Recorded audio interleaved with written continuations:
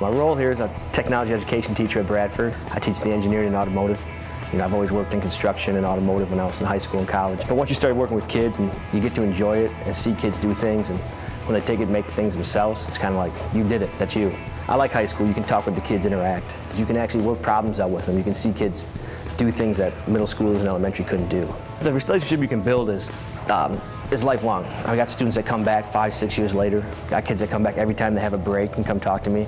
It's nice to see where they went. They started off as a freshman. By the time they're seniors, you're trying to help them get jobs and get to college, and then they come back and show you how successful they are. Kids just want to come back and show you that they did it, you know, and you knew they could.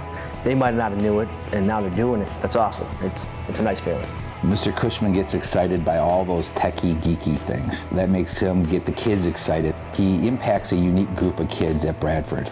It's not necessarily the athlete or not necessarily the honors kid, but he gets to a kid who has an interest in something with their hands quite often and how they can improve on their skills and the different technologies, but then he ties it back to the education that they need, to the literacy components that they need in, in the classes to be able to read the manuals, to the numeracy components to understand the decimals and the measurements that are needed to be accurate in those jobs that they could possibly have in the future. We're doing different things. It's not like, oh, here's a math book, you know, here's some math problems. It's like, well, here's some math, but you don't realize it. I'm going to give you the tools, and you got to use those tools to figure it out yourself. I'm here to support that. Mr. Cushman's an active person in our, our, career and technical education department here at Bradford, and that leads into his uh, leadership within the district as well too, pushing those career and tech jobs to our students. Those are a lot of the jobs out there that we sometimes forget about that our students need that training in specifically. I just took the position of youth apprenticeship here at Bradford also,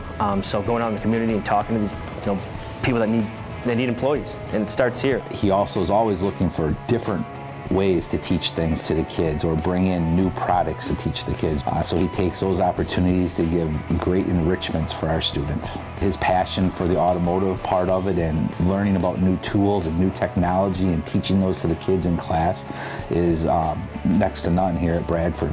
Over the years I've learned, hey, slow down, give the kids multiple avenues to get where we need to go and just kind of go with the flow.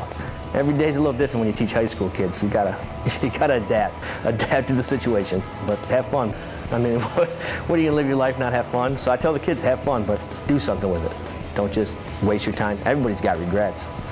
Don't make it now, because this is where it starts. I've had uh, valedictorians in my class, and I've had kids who you got to check in with their parole officer. I mean, it's you get a wide range, and it doesn't matter what the kid's going on.